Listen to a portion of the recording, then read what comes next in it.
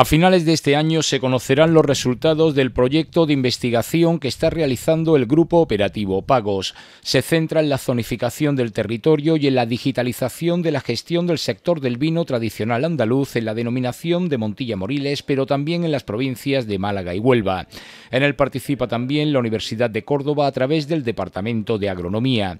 Hace meses que se trabaja en la recogida de datos climáticos, de la composición del suelo y de las características de cada parcela. En base a ello, los productores dispondrán en el futuro de una información muy valiosa para producir vinos con unas características muy determinadas que se ajusten a los gustos y preferencias del consumidor.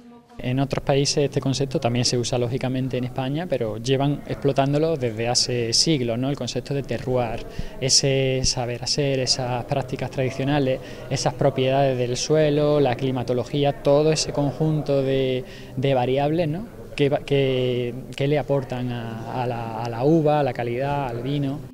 Ya se está trabajando en la forma en que toda esta información se pondrá a disposición del sector productor. Se pretende que en base a ella se puedan tomar mejores decisiones relativas a la mejora de la calidad de la uva y del vino.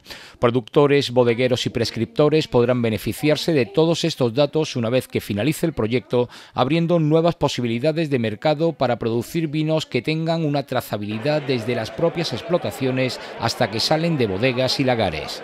Con esto eh, se va a poder hacer un vino eh, diferenciado de, toda la, de toda la línea, poder, poder sacar un vino a nivel de parcela, o sea, que, digas que, ese vino se ha obtenido de una parcela porque tiene sus propias características que a lo mejor la parcela de al lado eh, no son las mismas.